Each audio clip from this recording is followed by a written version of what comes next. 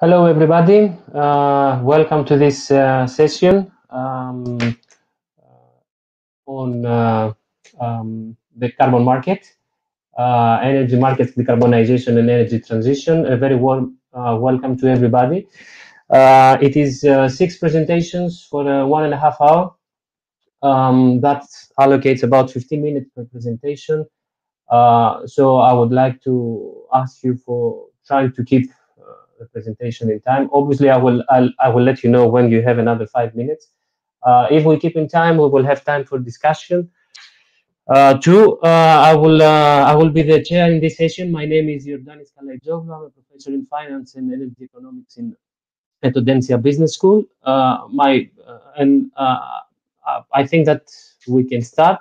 The first presentation will be is climate policy effective in reducing greenhouse gas emissions, southwest versus uh, southeast versus southwest Europe. Uh, and the presenter is Ines, if I'm not mistaken. So can I pass yeah. the stage Hello. on to you? Mm -hmm. Hello. So I will Hello. start the presentation right away. Okay. Uh, so this work analyzes the effects that climate policy have on greenhouse gas emissions.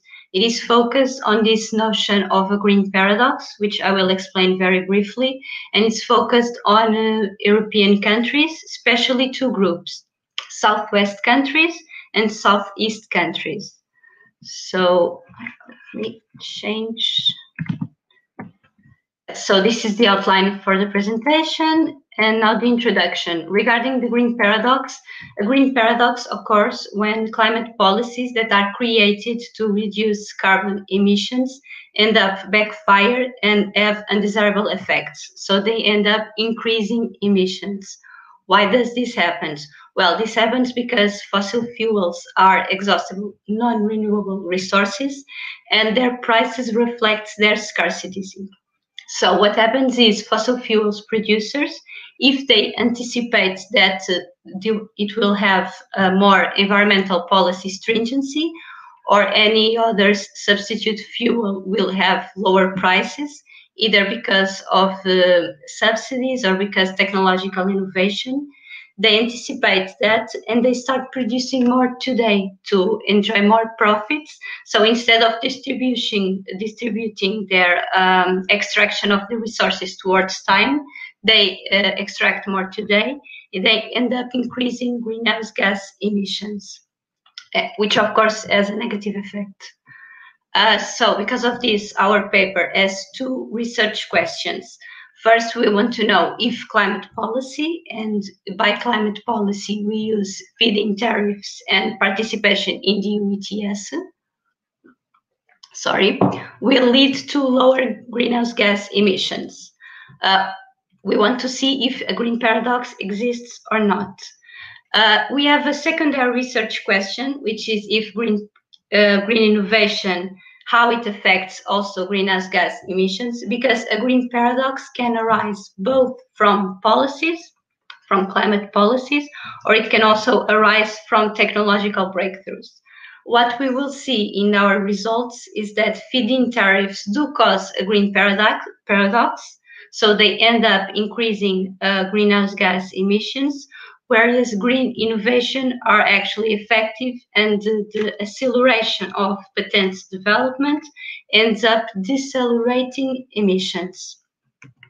In terms of policy mechanisms, we are focused in these two policy mechanisms, so feed-in tariffs and participation in the EU ETS. I will be very briefly here. So feed-in tariffs are an effective and cost-efficient policy instrument to promote electricity generation and to increase the capacity of renewables for countries. The tariffs act as an incentive that compensates the higher costs of implementation when compared with the already implemented conventional fossil fuels. Uh, the EU ETS is the largest and most liquid emission trading market. It involves all 28 European Union countries and it covers several emission intensive sectors and activities. And its objective is to achieve abatement by encouraging companies to innovate and to be more efficient. In the end, what we expect to see is as carbon price increases, polluters will uh, decrease their emissions. In terms of our empirical methodology, uh, we use the ordinary least square panel model with fixed effects. The data spans 25 years, so from 1993 to 2017. Uh, we did perform uh, unit root tests, which reveal that all our variables are integrated or first order, except for the feed-in tariff, which are stationary at level. So as you can see in the equation, all our variables are in first differences, except, except the feed, feed-in tariffs. We have four uh, different panel configurations. So we have the main panel that represents Europe, and it has these 23 countries. Then we have a southern uh, pa panel with eight countries. And then we separate this panel into two smaller panels. So we have the southwest panel and the southeast panel. Uh, our variables, we use total emissions of greenhouse gases as the dependent variable. We use patents from environmental related technologies as a proxy for green innovation and as a proxy for technological breakthrough. We use energy consumption as a proxy for electricity generation, electricity demand, and in some sense, economic activity. And final, uh, finally, our policy variables, which are the mean value of feed-in tariffs for these technologies and participation in the EU ETS, which we use as a dummy that is active after 2005, which is the year when uh, the, the EU ETS started. And so here we have our main results. What we see is that feed-in tariffs may cause a green paradox because we see that the beta coefficients are positive, meaning that as the mean value of the feed-in tariffs increase, it is expected that the greenhouse gas emissions will also increase. And we see this for the four panels. On the other side, the dummy of the ETS seems to have a negative effect. So, but it's only significant for one of the panels. So this dummy is only significant for the southern countries still it is a, a, good result because it it shows a negative uh, um, relationship. So participating in the ETS seems to decre decrease the greenhouse greenhouse gas emissions.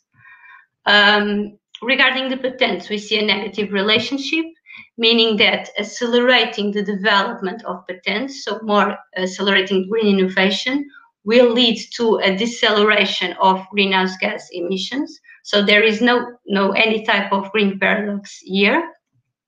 And as expected, we see a positive relationship between energy consumption and uh, greenhouse gas emissions. In fact, we see that this is the stronger relationship as the beta coefficients have the higher values. In terms of the panels, we also see that the, the, first three panels, so Europe, southern countries, and southwest countries, are very similar in terms of their results, except, of course, for the dummy of the ETS. And we see that the, the panel with the four countries, the four southeast countries, um, it, it lacks significance in most of the variables. In fact, what we see is that only energy consumption is significant. Um, it should be also noted that when we compare values between this group of countries and the other groups, for instance, comparing Southeast countries with Southwest, Southwest countries, the values are very different. So, for instance, where the, um, the average of environmental related patents is around 200 for Southwest countries, it is five for Southeast countries. And by the same token, whereas um, feed-in tariffs have average value of two euros in Southwest countries, it has an average value of 38 cents over these 25 years and for the countries in Southeast panels. So this may also explain why these variables seem to not affect significantly uh, greenhouse gas emissions.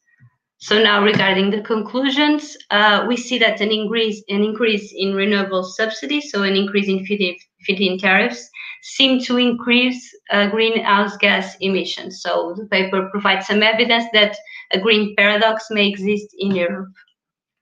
Uh, an important policy implication of this work is that an increase in these incentives regarding renewables should be cautiously paired up with anti-fossil fuels policy. We know that feed-in tariffs are important. They are important for increase the generation capacity of renewables and to the deployment to uh, decrease the greenhouse gas emissions. So our recommendation is not towards the feed-in tariffs by themselves, but it is towards anti-fossil fuel policies because how much uh, fossil fuels producers have an incentive to keep their carbon underground, um, it will affect uh, the combat to climate change. And also, if there exists a green paradox, it means that when they anticipate these kind of subsidies, they start to extract more uh, fossil fuels, and of course, which has a negative impact on the environment. Uh, we also see that participating in the EU ETS seems to uh, have a negative effect on emissions, although it's only significant for one of the um, one of the panels. Uh, energy demand arises as the main propeller of emissions, as we've seen, and environmental related uh, innovation has a negative effect on greenhouse gas emissions.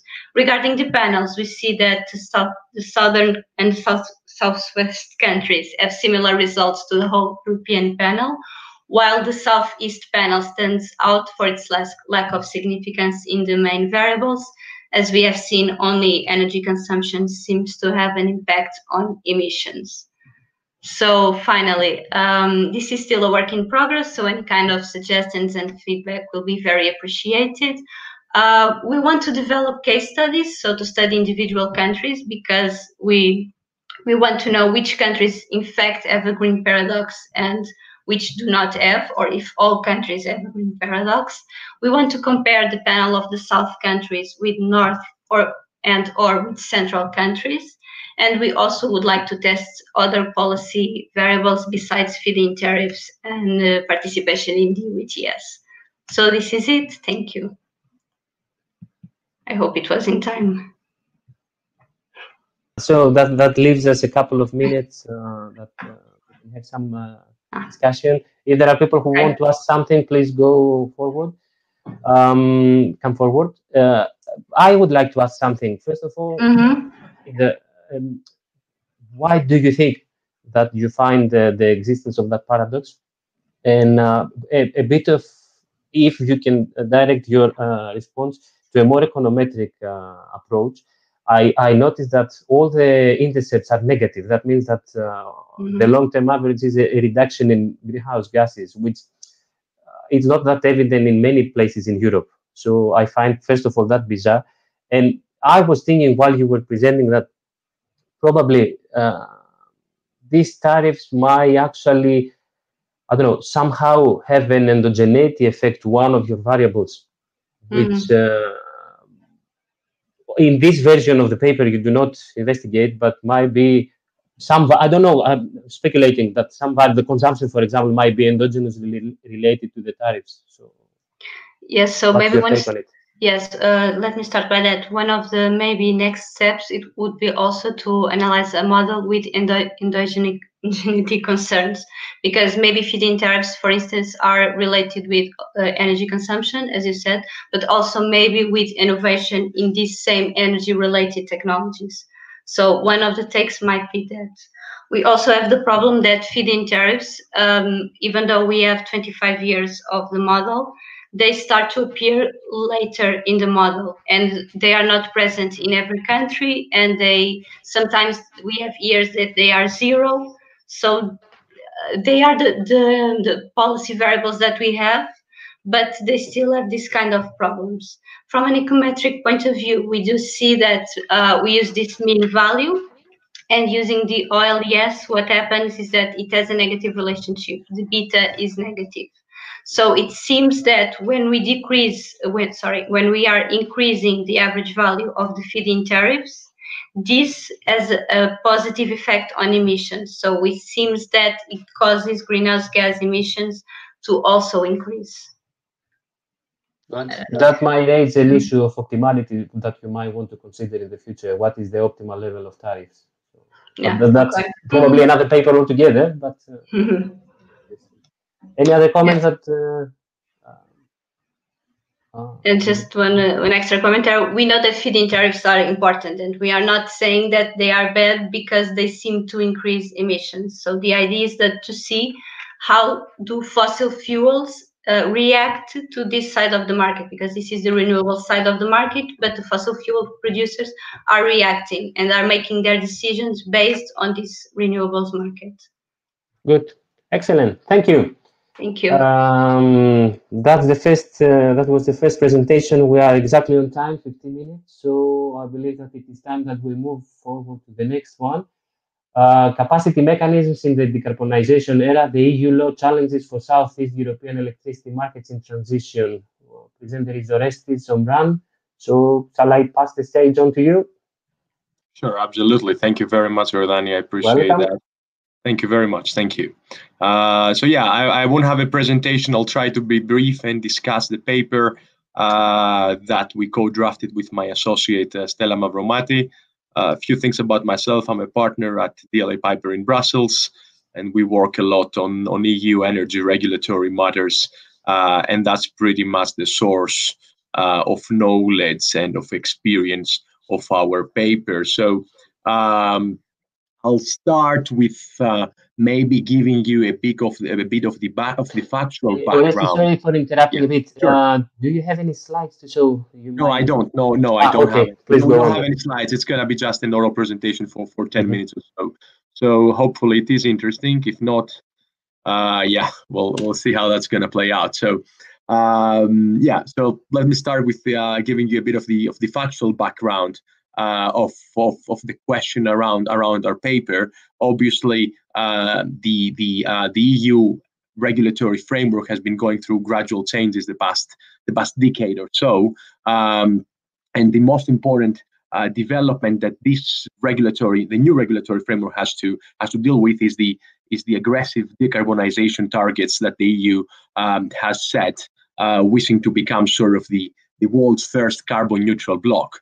Um, that's that's that's that's one thing. Another thing that we do have in southeastern Europe is some some unique, I would say, features of the of the electricity markets that have to be dealt with within that sort of decarbonization um, uh, era and decarbonization strategy of the EU Commission. Therefore, any any any sort of capacity mechanisms to accommodate these these unique features do in fact um, do in fact um, um, have to be have to be accommodated um, and have to be dealt with in this new framework.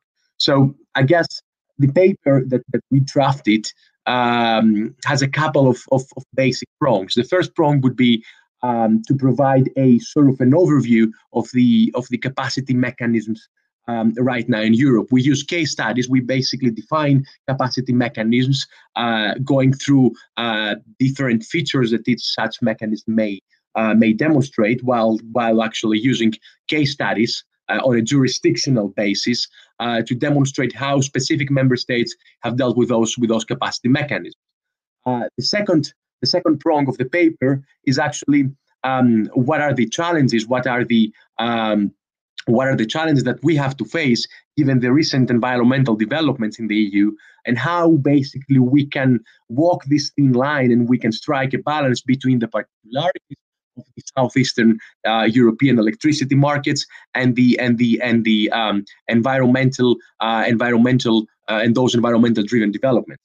Um, I guess the key takeaway of the paper um, is basically um, that that that capacity mechanisms do indeed play a role in the energy transition, a very important role. Um, they are not they are not a tool of the past, as some some scholars it may be suggesting. However, um, however, uh, such capacity mechanisms need need need need to uh, operate and need to uh, to be customized to accommodate the the uh, the, the policy uh, and the regulatory um, priorities of the of the EU. Um, so so going a little bit more into the specifics in terms of types of capacity mechanisms, we obviously have the strategic reserves. This is um, basically a mechanisms which provide that plants that have signaled that they will be closing down, they are actually be, they are actually put on reserve uh, instead of being activated all the time, and we only use them when there is insufficient network capacity. Uh, they are reimbursed for the cost of the operation of this ad hoc operation, Um, and this is rather a very simple system that, that many jurisdictions around the EU have been put have put in place. Um, then you've got the interruptibility schemes. Uh, this is basically an incentive-based scheme uh, that applies to large-sized customers, consumers, that can be ordered by the by the TSO to either reduce or basically shut off their demand when when the total system capacity has been reached, the, and the total system demand, excuse me, has been reached. And in that in this regard, they've been providing with incentives such as cash payments.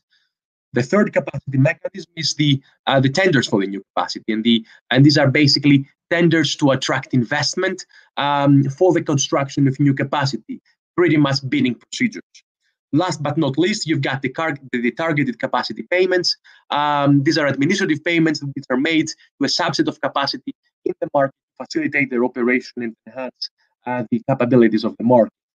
Uh, going now to the case by case study that we actually uh, put forward in our in our in our paper, uh, I guess we would start with the Greek interruptibility scheme that was very recently um, very very recently um, um, uh, renewed by the European Commission. Actually, two days ago, days ago, it's September 29, 2020 and and that commission decision is, is yet to be published still this is a sign of trust by the european commission to the to the greek interruptibility scheme that has been uh, extended um, basically uh, the, the way it works is that the tso contracts large energy um, consumers to be available to reduce their consumption uh, at times that the system is stressed um, and this is also referred to as demand response uh, we've got a ministerial decision in Greece, July 2020. It was a very recent ministerial decision that is actually uh, determining the particulars of this of this mechanism.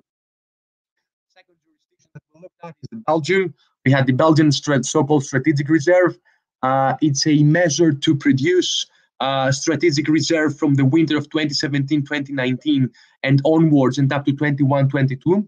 Uh, there are five delivery periods. Therefore, uh, basically, this is a covering, this basically covers the cost of strategic reserve um, through a tariff levy, um, and the volume of reserves will be decided by the on an annual basis. Um, there is a competitive tender along the lines of similar strategic reserve schemes uh, on a on a paid as paid basis. Regarding now Italy, Italy is a rather complicated market, a stressed market the past years uh, has to deal with decarbonization a lot, has to deal with other structural issues, um, and hence the Italian capacity market system is a little bit more uh, more complicated. Um, the the Italians have actually introduced a capacity mechanism to ensure generation adequacy and of course security of supply, uh, and that was obviously necessary because um, um, because the, the the existing structural changes in the Italian market were not enough to um, to respond to the to, to, to the sort of identified market failures. Um, there are reliability options that would be traded in central auctions managed by the TSO. Uh, the scheme uh, was also open to foreign capacity, a very a very interesting element, uh, and the Commission really uh, uh, uh, upheld that in the sense that they were happy to hear that basically um, uh, basically um, um, uh, stakeholders and, and and and undertakings from other member states would actually participate, uh, which increases competition in fact. Um, another element is that during the delivery period, contracted capacity providers, providers do receive the premium. There is a payback obligation, uh, otherwise there are TSO sanctions. Uh, and one very important element regarding the duration of this of this um, uh, mechanism in Italy is that there is no end date. Uh, it's viewed as a long-term measure, so it's a, a, a, a rather sort of strategic approach of the Italians to, to make sure that capacity exists in the market and, and when they need that, uh, they, they, they, they, they have actually already declared to the Commission that they would re-notify the measure uh, with any changes introduced thereon. Um, obviously, you may you may you may you may understand, and this is rather obvious, as I said, that there is a sort of de fer between the European Commission um, and and and and the member states. Because on the one hand, member states want to secure capacity in their in their domestic energy markets, and that's very challenging, as we already saw. And on the other hand, the Commission wants to actually implement its very strict targets for, for, for massive decarbonization. So, on the one hand, you may have a member state having blackouts because simply there is not enough capacity because let's say um, assuming that coal or lignite plants have gone out of the market. And on the other hand, you've got the commission saying, no, no, no, member state, you really have to stick to the strategy and you really have to move very fast with decarbonization. So um, uh, I would, I would, I would, from a legal perspective, I would actually, uh, I would actually, uh, you know, look at that as a debate between ensuring efficient competition in the market on the one hand, and on the other, uh, and on the other hand, uh, strengthening um, market market efficiency and market adequacy and, and, and capacity adequacy. Um, uh, from a regulatory perspective, uh, of course, uh, if one were to look at the at the regulatory framework, obviously uh, there has been development. There have been developments in the past years. We started with the with the third energy package in 2009. It has been transposed by most EU member states. Nevertheless, uh, there was no single mention to capacity mechanisms in the third energy package. Uh, five years later, in 2014, uh, we had the environmental and energy state aid guidelines. For the first time, there were specific rules introduced to assess the compatibility of capacity mechanisms. And obviously, a year ago, 2019, uh, Articles 2027 of the electricity regulation um, do include uh, specific references to the to capacity mechanisms. Um, let's say that uh, if we look at the regulatory framework and will and if we look at the policy of the European Commission and the respective policies of the member states, um, we, we, we, could actually clarify and classify that debate as sort of the um, driven by the adequacy concerns and, and, and, and market reforms are at the, form, at the forefront. So obviously there is a need to combine to combine those market reforms um, under the EU agenda with domestic uh, capacity mechanisms. Um, Obviously, um, it is of paramount importance for member states to show measures um, um, and, and to implement measures that are absolutely necessary for the viability of their internal markets. Um, you also got residual concerns, namely um, uh, certain problems that cannot be resolved solely on the basis of market reform. So there is a window there whereby um, market reforms that are pushed by the Commission are not really are not really enough to put it to put it that way. Um, another another another important another important uh, thing that uh, has been going on for some time now is that um, um, resource adequacy um, concerns are important. The Commission recently launched an inquiry into the Belgian capacity mechanism, um, and and and and and this is this is important because there you see the debate between the member states basically trying to implement a mechanism that would actually secure capacity in the market, while on the other hand, the Commission questioning the adequacy of the mechanism and questioning some side elements of that mechanism should it be renewed for the future. Of course, you've got the electricity regulation, which uh, introduces a rigorous adequacy assessment process, uh, and, and, member states are um, required to uh, develop an implementation plan in this regard. And of course, most important thing is how do you address the root causes of the problem? So you need to have market reforms plus, so market reforms plus anything required to basically um, deal with the root causes of the adequacy problems, and plus a very rigorous timeline uh, during which these market reforms have to take place. Um, I think the Commission's approach overall is that, well, listen, if we are convinced that despite the fact that you implemented market reforms and that you did what you had to do in terms of environmental objectives, you still do have adequacy concerns, well, in this regard, we're going to allow it. We're going to allow it through different regulatory measures. We're going to allow it through state aid measures. We're going to make sure you've got the you've got the capacity to serve the national market. So somehow uh, there is a there is some sort of leniency by the Commission, which only applies after the Commission is convinced that well, um, uh, we this member state did whatever they had to do. Um, and then, and then, of course, from a regulatory perspective, the Commission has to issue an opinion within four months from the submission of the national implementation plan. Orestis, sorry to interrupt again, but uh, we're very close to the 15 minutes. All right, so, yeah, yeah, yeah, obviously, yeah, yeah, no, it's, it's, it's absolutely okay. I, I guess, I guess, I guess, uh, after mentioning this, this sort of um, um, four-month window within which the Commission has to comment on the implementation plan, would that would come on to the conclusions of the paper, which basically is that um, capacity me mechanisms are here to stay. Uh, it's not an instrument of the past. It's rather a, a, a, a, an ongoing an ongoing discussion that will be enhanced um, as we basically uh, as we basically also discuss the the broader energy transition. Um, also, we, we, we, we look at boosting the accelerated replacement of carbon intensive capacity and, and, and adding together additional um, green requirements for member states. And it is there where, where capacity mechanisms, especially in Southeastern Europe, uh, will start uh, and will continue playing a, a massive role in basically striking a compromise between uh, those, those diverging interests. Thank you very much. Uh, great. Uh, thank you for this update. Uh, there was a lot of uh, really up-to-date information.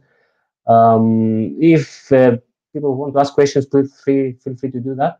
only one question before we move forward to the next presentation from my side, please.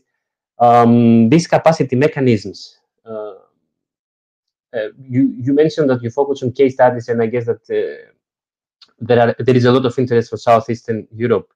Um, is it uh, you, you, mentioned that uh, they have to be customized for the priorities of the eu uh, and my question is for at the european level or at the country level? Is it the eu wide regulation or do you think that uh, it would be more optimal to do it uh, to give incentives for a na national uh, regulation to well that's not, that, that's that's that's that's a very good question. I think that one way or another, we cannot avoid the EU regulatory framework. Uh, right now, the EU regulatory framework provides for specific procedures, specific approval procedures uh, that all member states have to go through to implement uh, capacity mechanisms under the state aid rules of the of the of the European Union. Therefore, uh, that cannot be evaded. What can though be done, and that's a very good observation you're making, there is strengthening the domestic regulatory um, role. And, and this can be done by the Commission issuing guidelines or issuing directives that mm-hmm. basically mm-hmm. would enhance the role of, uh, of local authorities, which indeed do have more experience in the particularities of the domestic energy markets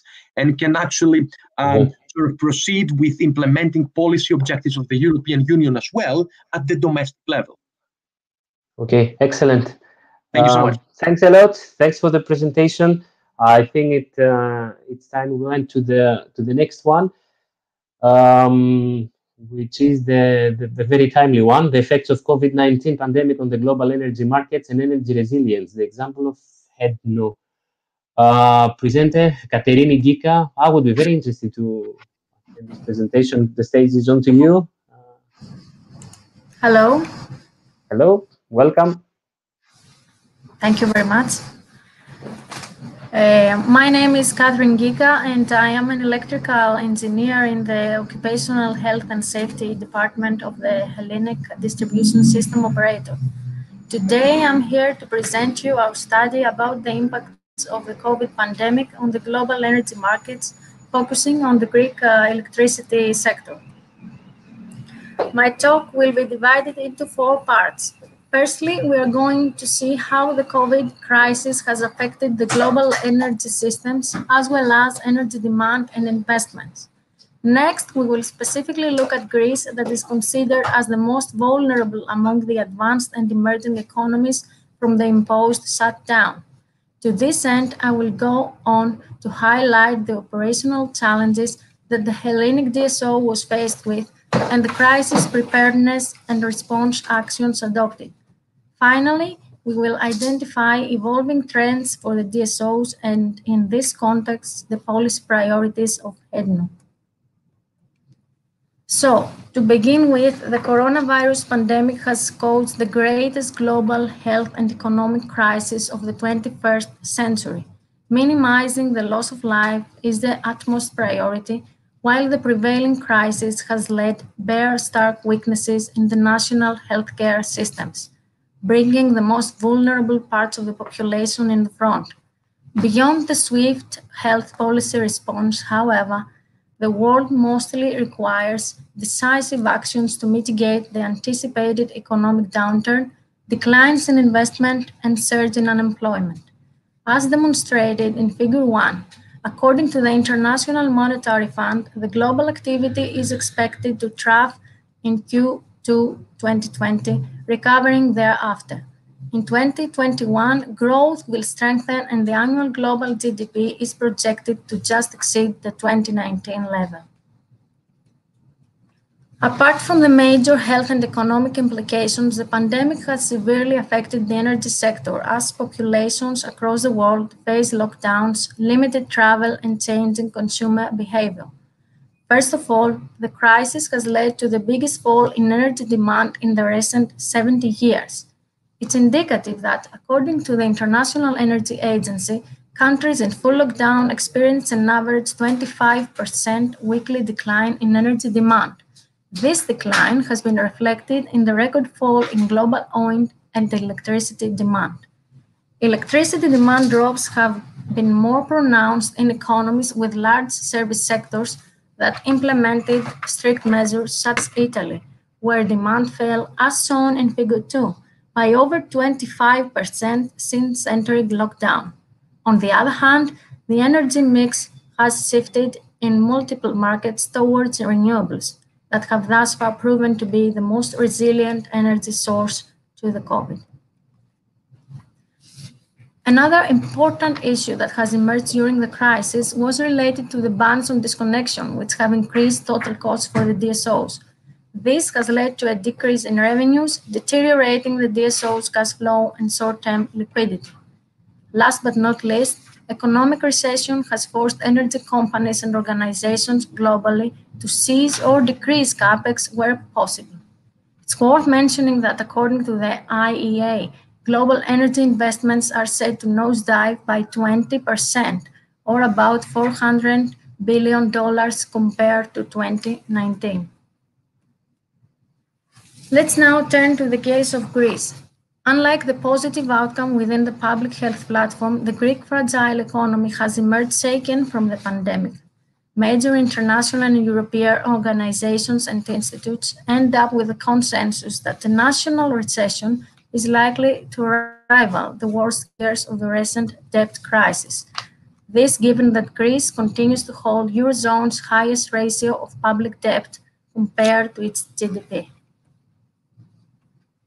Following the COVID crisis, the national gross energy consumption is projected to decrease by approximately 11% in 2020.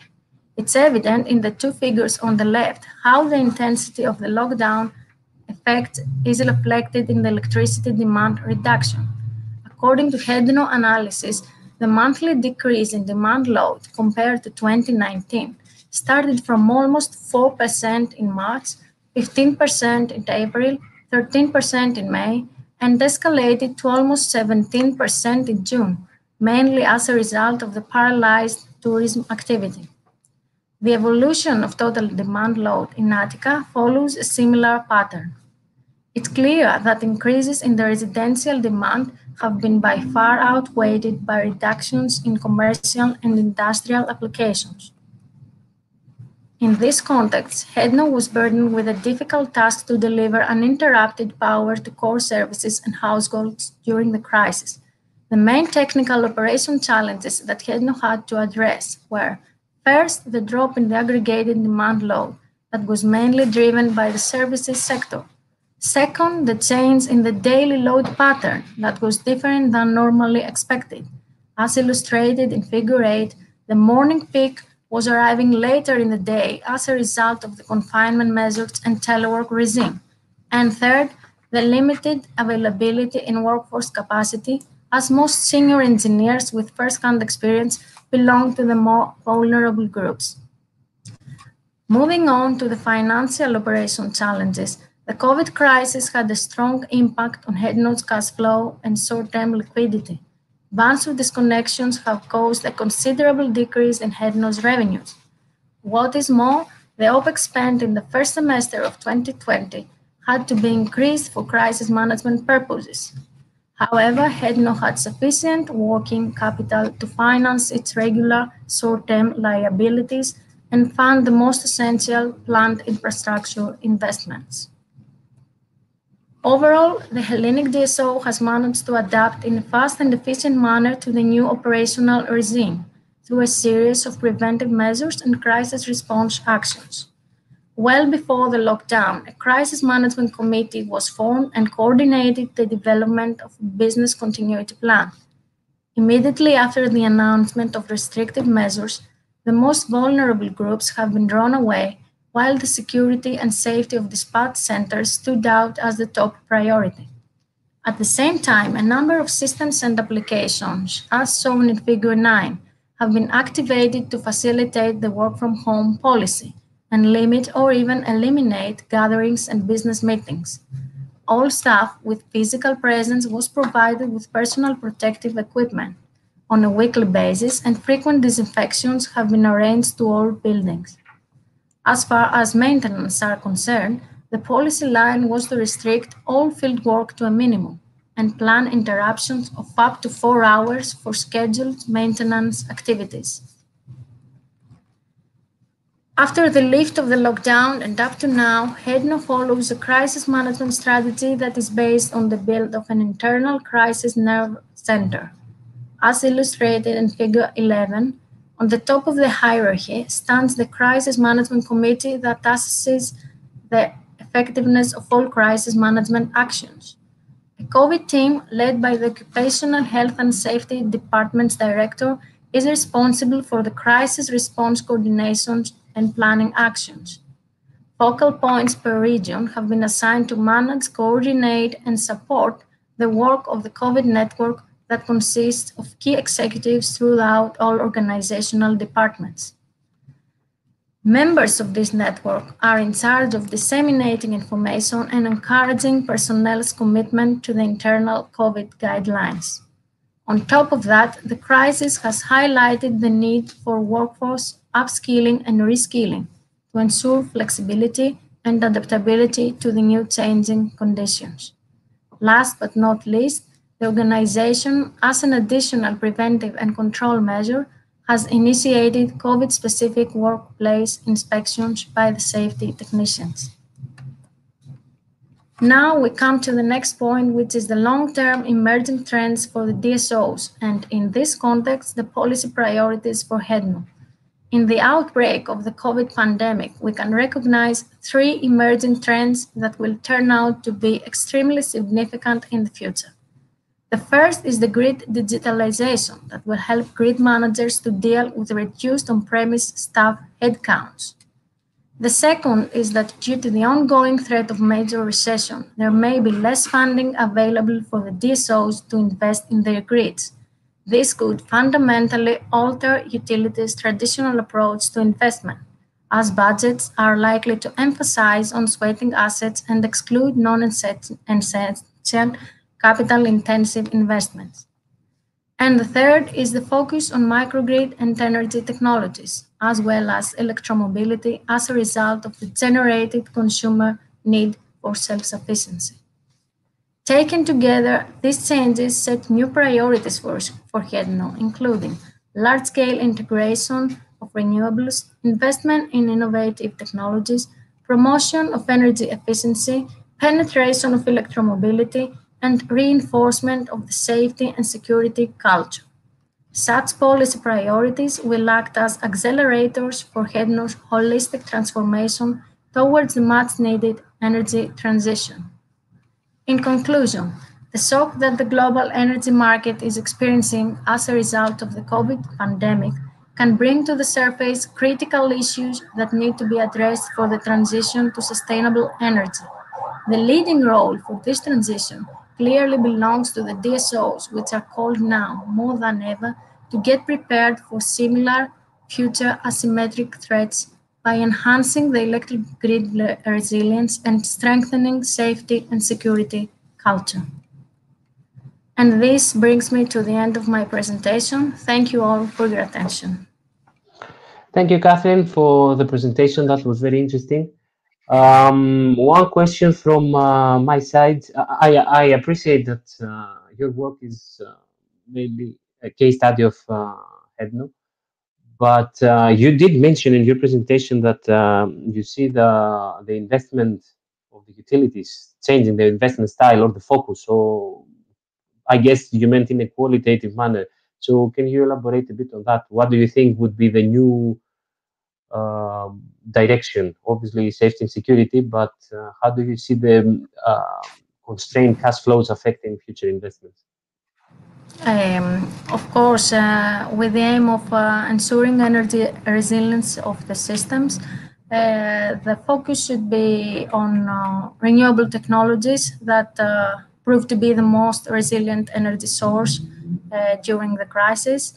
Uh, electromobility, because the public tran uh, transport means um, weren't used so far during the the shutdown, and of course, um, investment should be done uh, in the field of security of the companies so that they will be ready to face such crises in the future.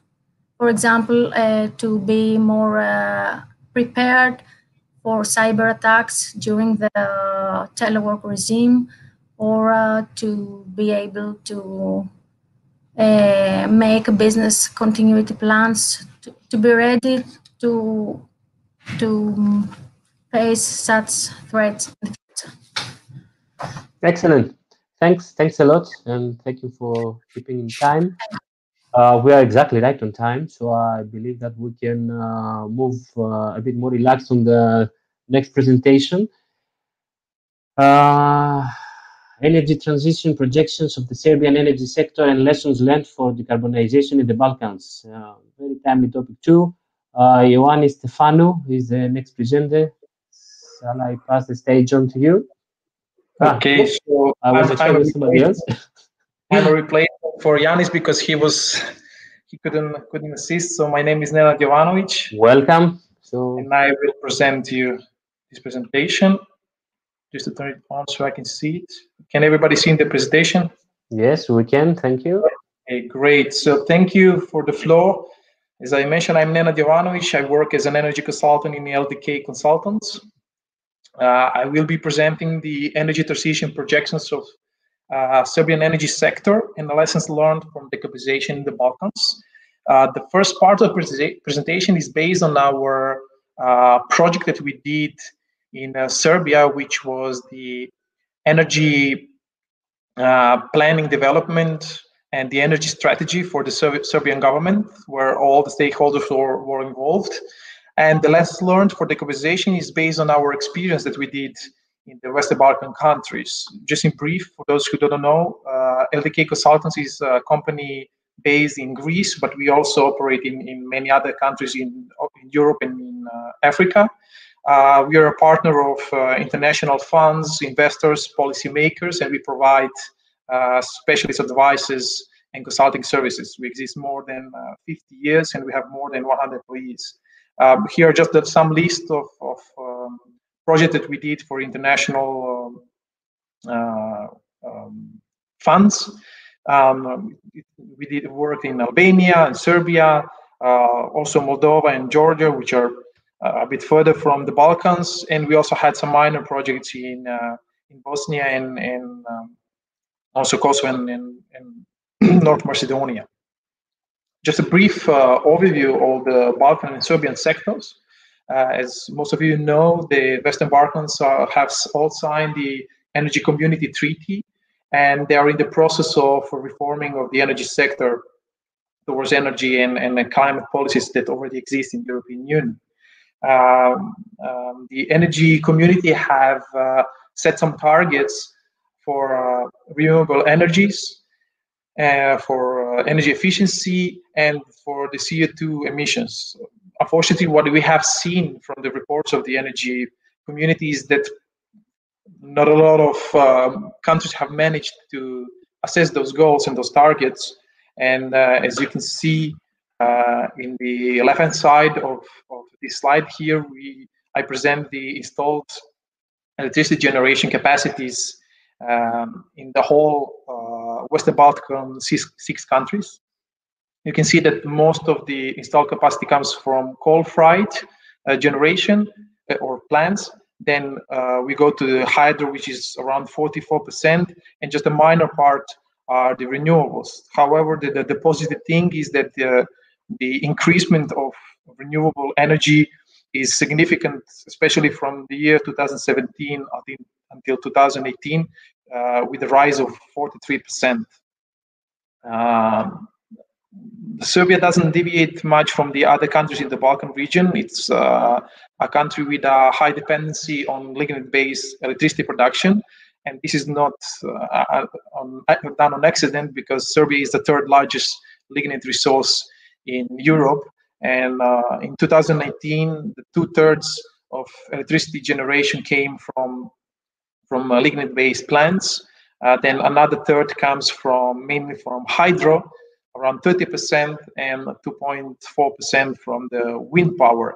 Uh, this is, of course, a major challenge uh, for the country to tackle and to prepare for the coal phase out that should come in the near future.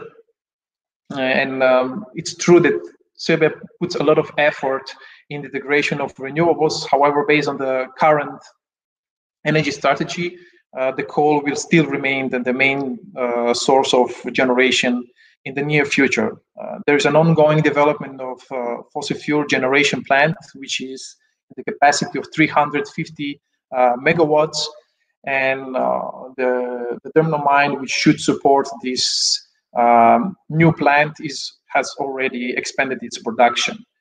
In order to overcome these these challenges, uh, the, we were engaged in, in the project financed by the EuropeAid, and what we have done is to support Serbia in reforming the energy policy.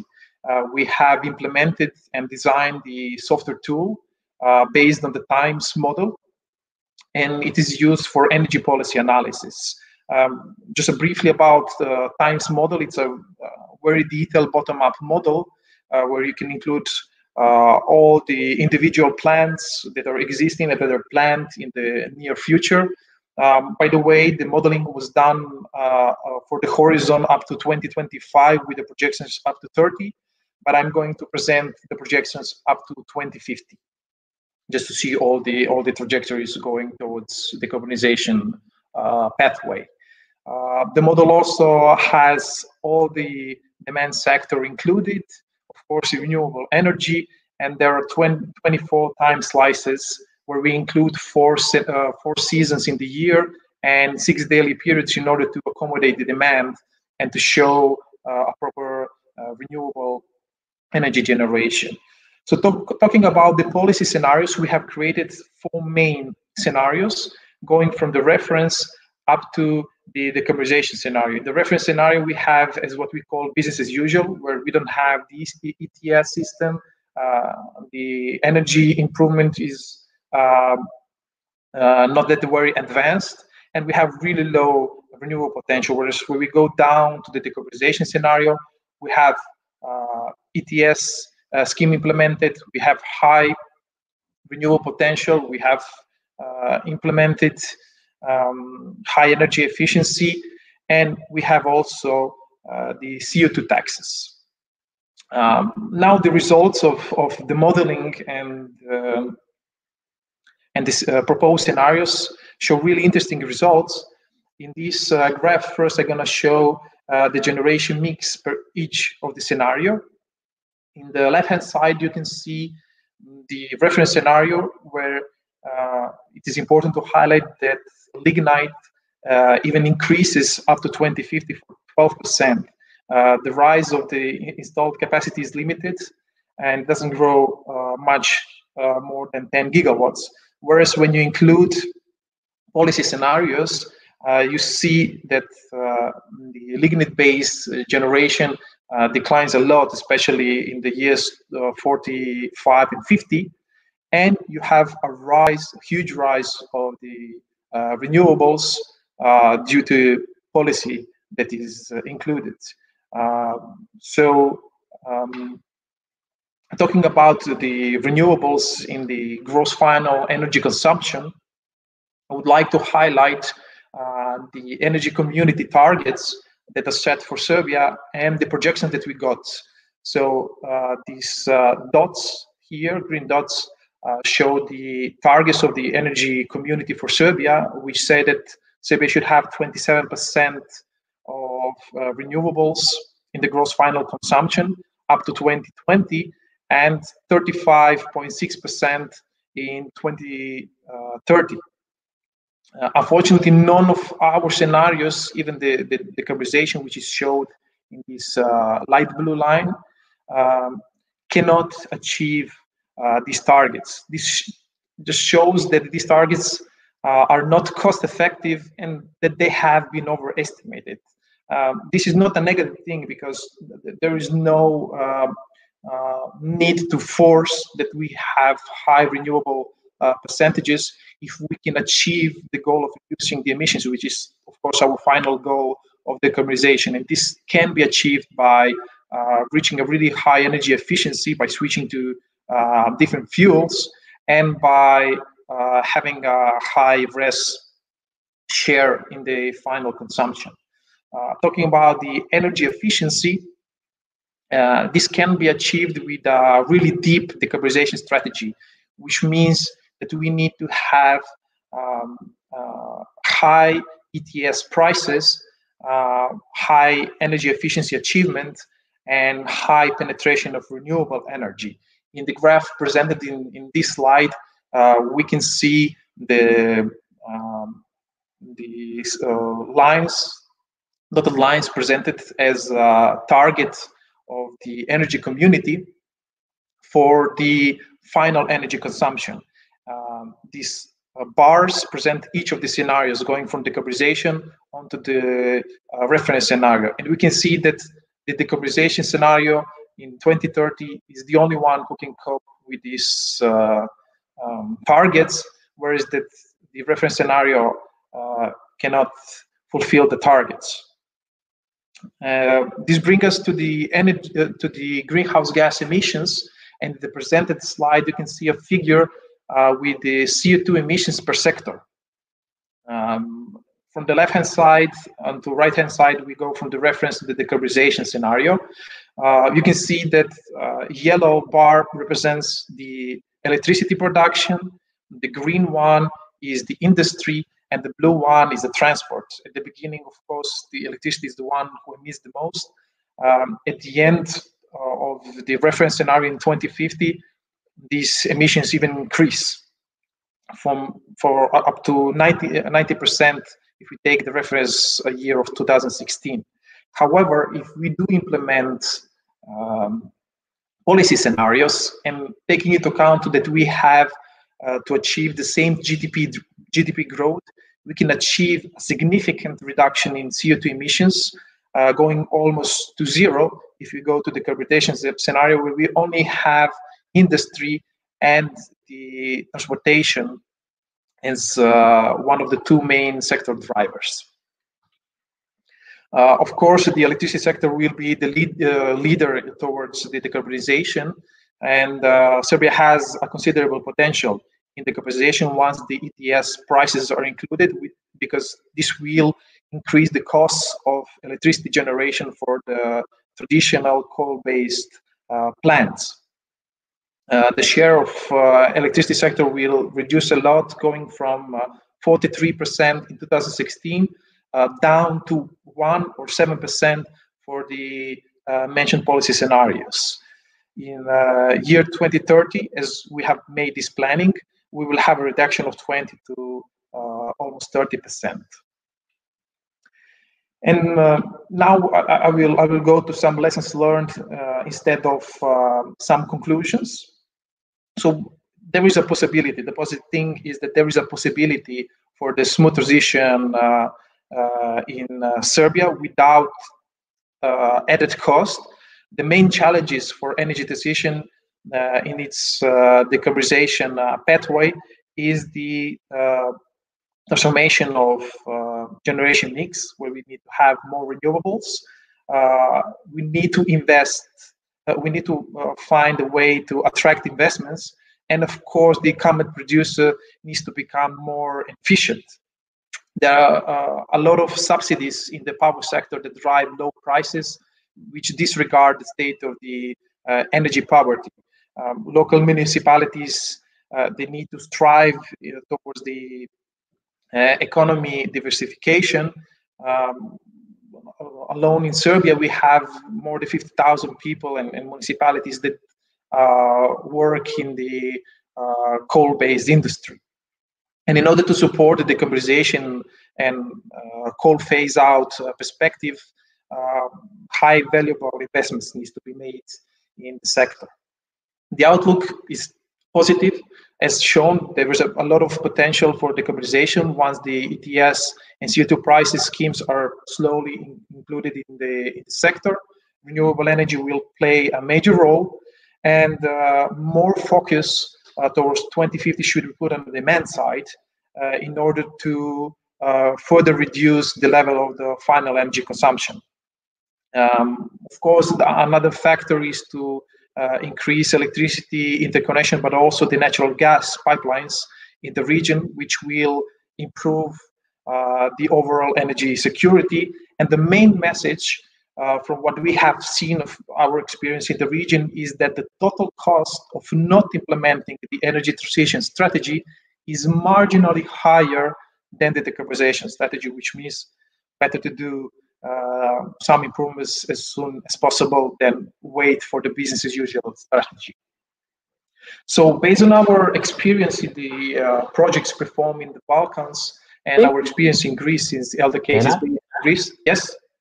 Uh, sorry, uh, um, you are, we are very close to the 15 minutes, so if you can... Um, yes, yes, I'm wrapping up. Within a couple of minutes, that would be excellent. Yes, I'm wrapping up. This is the last slide. Excellent. Uh, so the, the lessons learned from the Balkans is um, that uh, there is a need to set feasible realistic targets for renewable increase, for energy efficiency improvement, and greenhouse gas emissions reduction. Um, unfortunately, there is a lack of foreign investment attraction, and uh, there are moder moderate financial support uh, in uh, different schemes like feed-in tariffs to increase renewables. For example, in Serbia, currently we don't have an active uh, support scheme in, in year 2020. Um, the, the lack of foreign investments also come from inefficient uh, price signal because the state of the market liberalization needs to be improved. Also, the incumbent producers are heavily subsidized, which force the prices to be really low and uh, not realistic. Uh, for example, all eight, eight, incumbent producers hold 93% of all the Western Balkan 6 electric, electricity production, which also will drive the energy poverty as uh, we gradually remove uh, the state subsidies and um, the inclusion of CO2 taxes will, of course, uh, significantly impact the, the energy prices. Uh, in this case, all parties need to be involved, not only at the national level, but also internationally. Uh, the regional aspect here is uh, really crucial because it provides a better opportunity towards transition. Uh, policies, projects need to be uh, developed on the regional level so you know what the we know what the uh, neighborhood neighborhood is doing, such as the Trans-Balkan corridor, which will assure better cross border balancing, high renewable integration, and final market coupling. And the final uh, message is that investment should go towards demand side uh, as it is more cost efficient and there is a big opportunity in energy efficiency improvement. Thank you for your attention. Excellent. Thank you. Thank you for being on time. Uh, one quick question, uh, and I would like if you if you could uh, respond a bit briefly. Um, at some point, you saw in the presentation that um, the um, even in the most uh, optimistic scenario, uh, say they cannot meet the targets. Is that uh, because their targets are optimistic, or because uh, the, the planning was inadequate, or what do you think this is the case? I understand okay. that you suggested many things that could be done, but uh, why even in the optimistic scenario we are below the yes, even even in the optimistic scenario, the, the targets are not achievable because they are just too optimistic. They are not cost effective uh, because if you put okay. all the the information in the model, you just get that it's too expensive. It's not economically viable to do it. Uh, however, with the same amount of funds, you can go towards the demand side to improve the energy efficiency part. It's not that needed to uh, strictly force the um, share of renewables in the mix when you can go more to, towards the energy efficiency side, to the mm-hmm. demand side, to reduce the final consumption, and to achieve even better results with uh, less funds, with less investments, uh, to achieve the same results for the uh, reduction of the CO2 emissions and, and greenhouse gases, which is our optimal goal in, in decarbonization. Excellent. Thank you. Thanks a lot. Uh, I think for the sake of time, uh, we can move to the next presentation, which is uh, uh I will be the presenter. Uh, let me go to my presentation. I think I, I do share my screen. Um, so, um, then and other presenters before him, they uh, mentioned that um, focusing on making CO2 emissions uh, more expensive, it will actually lead to a better equilibrium. And uh, let me take you, let me take this pass and move forward to the actual market, the EU ETS. Um, the EU ETS is uh, has created a new asset, which is the the CO2, the emissions, and because it is an asset, uh, it has a price. And when it has a price, we can focus and uh, focus on it and investigate how this price does evolve, what affects the pricing, and uh, wh- whether it actually reflects what it should reflect, even if it is policy oriented, whether it reflects the fundamentals. That's a major idea that I would like to investigate. Uh, the the presentation, the, the focus the, uh, here is slightly different from the previous presentations, uh, and it is uh, a bit technical. One of the major contributions here is uh, price modeling. Uh, I will try to spare you the equations, but eventually I will have to show some. at least I will try to navigate you through the the models, the, some specific part of the models to highlight what what is done. Now, CO2 has a price, and this price is affected. It, it is traded in a market, and because it is traded in a market, as all assets, uh, it is affected by two things. One is public information. When there is regulation changes, when there is uh, public announcements, shifts in macroeconomic uh, variables and data, that is, is expected, should be expected to affect the price of carbon. Uh, on the other side, uh, there is some trading, trading history. There is uh, agents in the market. They interact with each other and they resolve their private information, whatever that private information might be. That, that the implication of that is that there is learning in the market. We observe data, we make some judgment, and we act on it. And therefore, prices might change because there is new information, public information, or it might change because uh, there is some information revealed through trading. Now, uh, usually when we uh, focus on uh, what kind of information we can extract from the market. The usual suspects, the usual variables are how much volume, how much liquidity there is in the market, either frequency of trading, how many transactions per unit of time, or how much is the volume uh, of the trading uh, per unit of time. Previous studies with respect to the trading, tra trade by trade. So the focus here is microstructure. It is uh, not weekly observations or monthly observations. It's how the prices evolve in real time. When the market opens in the morning and closes in the afternoon, there is uh, prices move, and they move either because of the arrival of information or because of liquidity changes market participants observe and they act on it. Previous studies have shown that uh, there is a big distinction in the levels of liquidity. One is the overall liquidity. How much, uh, what is the total volume of trading in a period of time? That has been shown by previous studies that it does help actually uh, the market to become more efficient. It does help pricing uh, in a sense that uh, if you want to exchange an asset, you do not face a liquidity premium. However, there is another kind of liquidity, especially uh, investigated in the carbon market, which is the what is called relative liquidity. Uh, you have you start, for example, with a quiet morning, and at some point you see that the, for a minute or two there is a lot of trading. Uh, so it is higher compared to something else. That's why it's called relative. You might infer that uh, this increased trading, especially if it is towards one direction, increasing the price or decreasing the price, might be because there is new information. So this higher relative volatility actually introduces uncertainty that has to be resolved. Now, um, the overall idea in the literature is that the EU ETS becomes more efficient in a sense that it better reflects the fundamentals. But it, uh, if you if you uh, focus on the concept of relative liquidity, that might mean that uh, there might be more information that has to be resolved. what is the question here? Uh, uh, in this paper, I in, uh, uh, visit the idea of whether the pricing on an intraday scale uh, it is efficient, and it does matter whether it is efficient because an efficient pricing reflects the fundamentals. If there is a new regulation, either anticipated or announced, the prices should reflect that. But if the prices are affected by very low liquidity and there is a liquidity premium, then they do not reflect the fundamentals.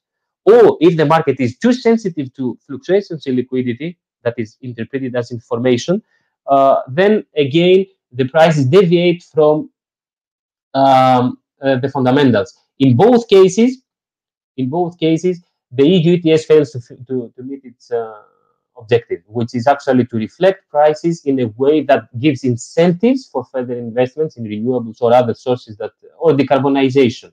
So the, the question here is do the prices we see, do the price discovery, the intraday price discovery we see in the market really uh, reflect the fundamentals or is it affected by other frictions as we call them?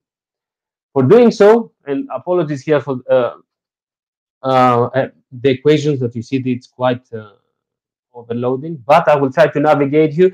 If the market is efficient and frictionless, the price, this PI over here, reflects the efficient price. And the efficient price, the change in price, it is a random walk. This is the symbol of the random walk. So if there is, uh, if the market is frictionless and super efficient, then uh, the price you see in the market reflects the efficient price, and the changes in the price is simply a random walk. You cannot forecast it. However, uh, because especially the EU ETS is a hybrid market and uh, there are uh, designated market makers, they provide immediacy and there is a cost for that. This cost usually, it takes the symbol of phi and it is uh, estimated like that. This phi over here is the cost of liquidity that comes from uh, the bid ask spread. QI is whether it is a buy or a sell. And what we call price discreteness uh, the, the fundamental price might be 99.999999, but the tick of the price is only one uh, cent. Now, the liquidity is a friction. Liquidity costs that come, uh, they are considered to be immediacy costs. They are frictions. So if the, these frictions are very high, the prices are less efficient. They do not fully reflect what is uh, the fundamental value. Also, because there are designated market makers, uh, they might face a better informed agent and in that case, if they trade with that agent, uh, they will lose. In order to protect themselves, they charge a spread.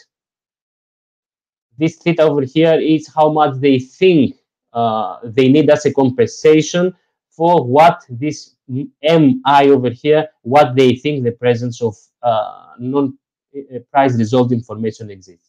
So the interest, the parameters of interest is this theta over here, which reflects information, and this phi over here that reflects uh, um, liquidity, liquidity frictions. If theta and phi are high, that means that this public information component, this epsilon, is low. And we measure um, efficiency. The, uh, the variable of interest is the one over here. It is the variance of public information, how much of the price changes, of the variance of price changes, um, depends on uh, sorry, how much of the total variance of price changes uh, is driven by the variance of public information. In a frictionless, if there are no frictions and the market is efficient, uh, this ratio goes to one. The higher it is, the more efficient the market. The lower it is, the less efficient the market. Now, the first contribution uh, I was starting with the equations uh, is that in the previous literature, this the variance of uh, this epsilon the public information and the variance of that, they are static. Uh, in that paper, I suggest an autoregressive version of them. So all the parts of uh, the variance of the conditional variance become uh, time variant. I will not show the equations uh, per se. You can see the paper for them. But the idea, what I would like to show is, uh, I will jump to the findings. What do you see over here? this line that starts from about 60%, 55%, and drops down to 38% is this ratio over here plotted is the, the all the data from from uh, the EU ETS up to uh, the end of uh, 2016, and uh, I estimate what is the proportion of total variance attributed to public information. And as you can see, that drops and that drops significantly. It stabilizes in around 2012, but it drops significantly uh, from uh, uh, the section of phase two onwards. That is interpreted as low, lower efficiency. The market, the prices themselves, they are driven less and less by public information. Instead, what do you see here? The red line is uh, the information part of the variance. This is the liquidity part of the variance, and this is the interaction between these two frictions.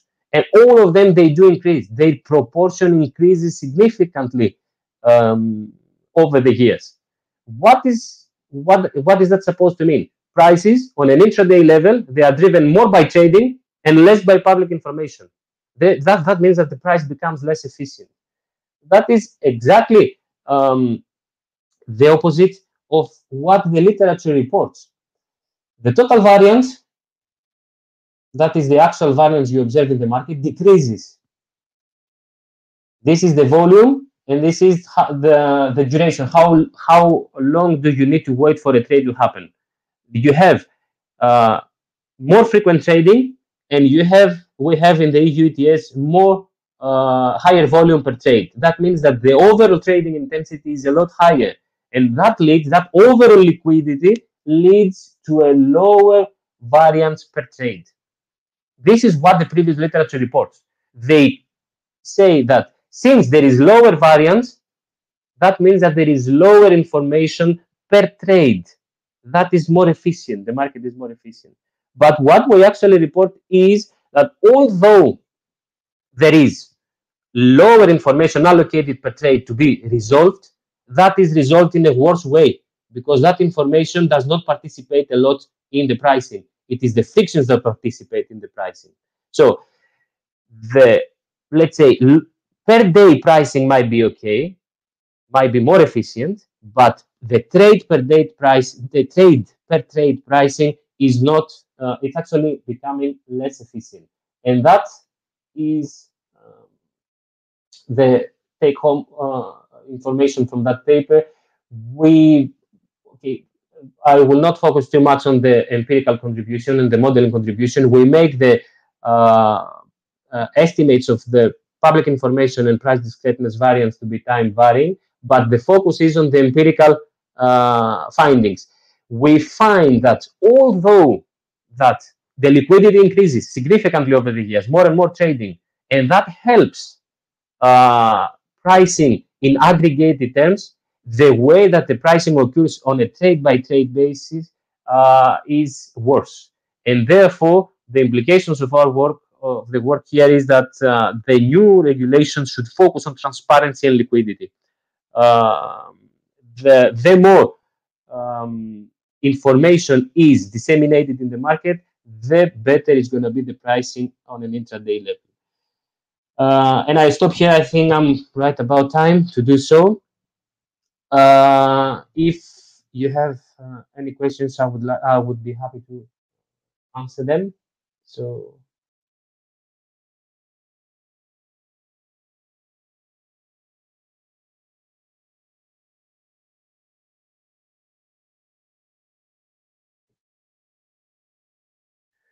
Okay, I don't see any. Thanks for attending. And I think it's a high time we went to the next presentation. We have still uh, time to do that. The next presentation will be uh, the viability of a Mediterranean energy hub and the interests of uh, European Union and Russia, common or conflicted, by Antonios Stratakis. Um, Good evening. Hello, hello, Uh, welcome. Stage Last but not least, Excellent, welcome. okay, so uh, I think that you all see my presentation. Okay. Uh, so what we're about to, to discuss today. Uh, first of all, I have to say that my uh, presentation is not an econometrical one, like those that I have uh, already heard, but uh, it's uh, more something like a geopolitical one. So, uh, what exactly we're going to see right now? We are going to investigate what are the interests, the energy interests of European Union, and of course Russia, and then we will discuss and we will see if they are common or conflicted. In other words, on what extent does European Union needs Russian energy? So, uh, here we have to say that uh, Russia's energy policy is aiming, okay, uh, to raise its European market share and also to raise its global influence in terms of energy flows. What exactly do we mean by this? Uh, of course, as you all know, in the last decade, we have an energy hub in Southeast Mediterranean. Uh, we will see in the years to come its role and the inevitable fierce competition that it will face by other well-established or emerging gas producing areas, such as Australia, I have heard about it yesterday, or uh, Mozambique, or even USA. Uh, so let's see something about Southeast European, uh, Southeast Mediterranean, sorry, uh, so far proven gas reserves. The total quality is ranging, the total quantity, sorry, it's is ranging between 2.17 trillion cubic meters and 2.85 trillion cubic meters. So the question is, is this quantity sufficient enough uh, to supply European Union energy needs on a steady basis or not? And the above quantity of about 2.75 trillion cubic meters uh, stems for, from uh, the aforementioned from the so far proven gas fields in uh, Southeast Mediterranean region. So, uh, and of course, we have to examine up to what extent European Union is really willing to become independent from Russian energy flows. Uh, in the meantime, as we all know, we have the COVID-19 consequences in the global energy sector, where uh, we have highly vulnerable uh, crude oil prices. And uh, of course, despite the fact that the drilling technology is constantly being updated in a cost-saving di direction, uh, as I have already heard, there is no drilling activity at the moment. So uh, the main energy question is, is the East Mediterranean important and for, and for whom? Uh, as we all know, and as we can, as we can guess, uh, European Union is mainly an energy consumer. Okay, that means that actually European Union consumes uh, a much more, much more quantity levels that it it actually produces. Uh, for example, we can see here that European Union, and according to the BP annual energy report, European Union energy production levels in 2019 stood at 286 million tons of oil equivalent, while its energy consumption levels reached 1 1,633 million tons of oil equivalent, 12% of global market share. That actually means that uh, European energy needs outpace production levels by almost five times. Okay, so uh, in this table, if you if uh, we see uh, the changes in the decade period between 2009 and 2019, we can see that uh, European Union consumption levels have declined by 4.1%. We can see that oil consumption is down by 9.7%. Coal, coal consumption is down by 31.4%. Natural gas that we are discussing right now is down by 3.1%. And the most important thing that I would like to highlight here is that renewables consumption has risen by 205% in the decade. So as we can see here, there is a positive trend towards renewable energy, okay, as it refers to power generation and other Greek energy projects. In this uh, diagram, we can see the European Union's gas consumption levels because we would like to focus on gas consumptions and the, and the viability and the feasibility of the so-called uh, East Mediterranean Energy Hub. Uh, so we can see that European Union gas consumption levels in the decade between 2009 and 2019, if I can say so, since 2014, are on a modest rise. Uh, so uh, from where actually European Union imports uh, its gas. Uh, European Union imports its gas, as we can see here, mainly mainly from its eastern borders. I mean, from countries like Russia, Azerbaijan, and others, in order to cover in order to cover uh, its gas energy deficit. What does this actually mean? Uh, this means that Eurasia, as you can see here, holds 32% of world proven gas reserves. It is 64 trillion cubic meters. While European Union total proved reserves, we exclude the, the ones in uh, Southeast Mediterranean, are 700 billion cubic meters. So, uh, let's see here. So, uh, European Union natural gas trade movements are uh, totaling 751 billion cubic meters in 2019, of which 80% of the above natural gas trade took place by pipelines, while only 20% actually took place via LNG vessels. As it refers to natural gas imports via pipelines, European Union imports mainly from Russia and Norway. Russia accounts for seven for 40% of natural gas imports via pipelines.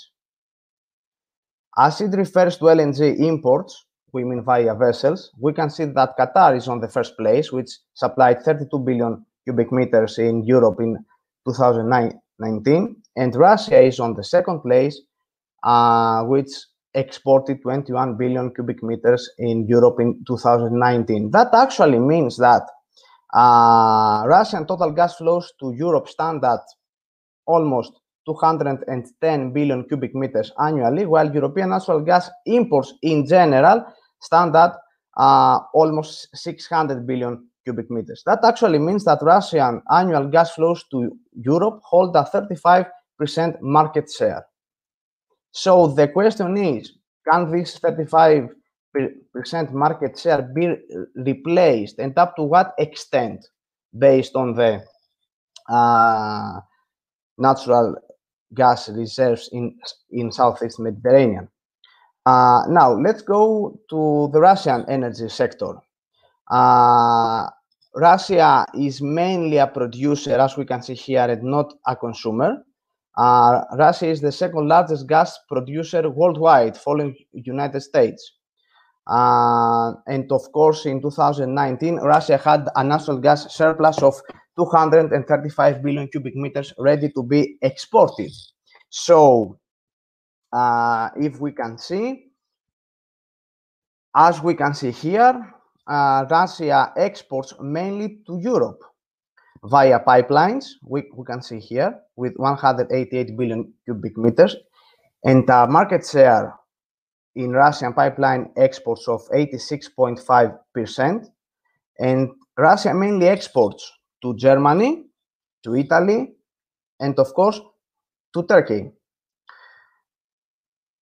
Also, we have the Russian LNG exports, which, uh, which are mainly headed, which are also mainly mainly headed to Europe, with 21 million cubic meters, a 43% of uh, market share of Russian LNG exports is headed to Europe also, and here we have countries like France, Spain, and others. Uh, and of course, uh, as uh, you will probably know, Russia is also heavily engaged in the Asia Pacific region, where it exported 18 billion cubic meters of LNG, mainly to Japan, China, and South Korea. So, as we can see from this map, which actually illustrates all the active uh, Russian gas pipelines to Europe, we can see that Russia's geopolitical concept is actually to encircle Europe with natural gas pipeline networks. Here we have the existing Russian gas pipeline network to Europe, which is consisted of Nord Stream pipeline, Yamal Europe pipeline, Blue Stream pipeline, and Urengoy Uzhgorod pipeline, which actually Russia is seeking uh, to disengage because uh, Russia wants to export its natural gas through Turkey. For that reason, Russia is promoting Turkstream pipeline, which is actually operational since January 2020, and of course, uh, the Nord Stream 2 pipeline, uh, which is quite a hot topic, if we can say so, uh, these days. Um, and so far, it seems that Russia finds willing energy partners in Turkey and also Germany. And that, in my opinion, actually jeopardizes the possible uh, viability and uh, feasibility of the Southeast Mediterranean gas reserves. Uh, if we want to talk about uh, quantities, uh, we come to the conclusion that the so far proven gas reserves supply and service the supply of the involved countries, Egypt, Israel, and also Cyprus in the medium term, uh, in terms of securing their energy independence, meeting their low level domestic needs and consumption. If we consider that the so far global proved gas reserves stand at 198.8 trillion cubic meters, we can see that the Southeast Mediterranean region gas reserves of about 2.5 trillion CBM holds a rather limited market share of only 1%. As a result, the aforementioned gas reserves in, in Southeast Mediterranean are actually dwarfed by those in Russia, Iran, or even Qatar.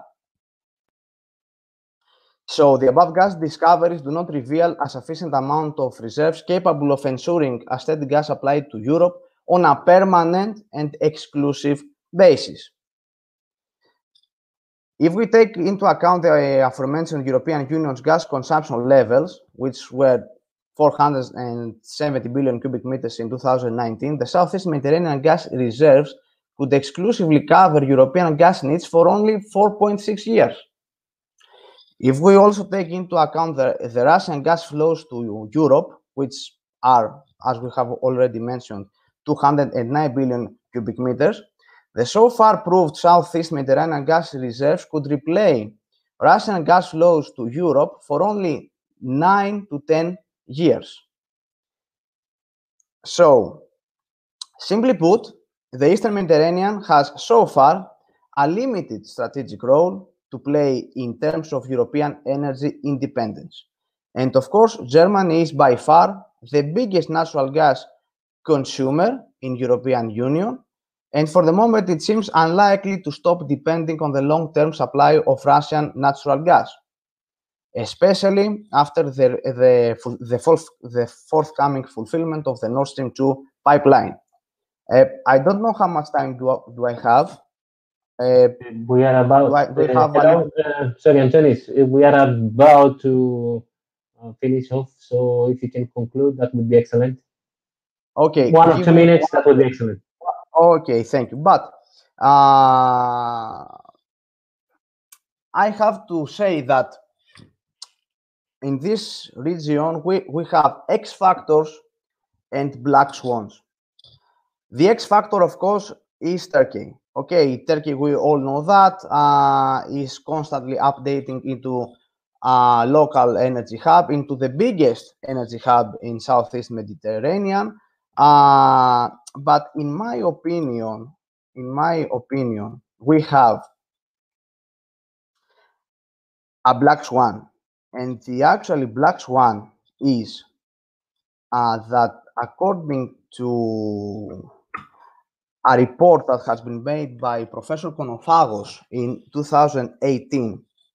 The report says that there is an average possibility of 50% for the Greek territory to contain huge hydrocarbon reserves of about 3.1 trillion cubic meters. If we consider that, if we consider that amount, that quantity, we can see that uh, over 2 trillion cubic meters are actually located in the area between southern Crete and, of course, the Herodotus Basin. As we can see here, the Herodotus Basin is that area. That area contains over 2 trillion cubic meters, which actually equals uh, to the amount that has already found in other uh, Southeast Mediterranean gas deposits. So, in my opinion, uh, this is the main reason why actually Turkey has maritime disputes in the area. Uh, just to remind you, uh, the signing of the memorandum of understanding with uh, Libya and the proclamation of a unified exclusive economic zone between Turkey and Libya. Uh, and this is actually the maritime region that Turkey claims. And Turkey claims that region because, in my opinion, knows and understands that in Herodotus Basin, somewhere here, there are tremendous gas deposits. So thank you very much. And I am glad to hear. Excellent. Thank you. Thank you for finishing off on time. Unfortunately, we are already a bit uh, late, so Okay. I have to finish the session here. It was an excellent topic, very timely, I would say. Uh, thanks for this uh, updated info with respect to the reserves. Um, thank you all for uh, attending this session. I hope that you found it interesting. Um, I uh, we we are about to to finish off. Uh, there will be a video playing, and then uh, the the floor will be on the next session. Thanks for attending. Thanks everybody for being on time uh, with the presentations. Um, I hope you enjoyed the rest of uh, the conference. Goodbye from.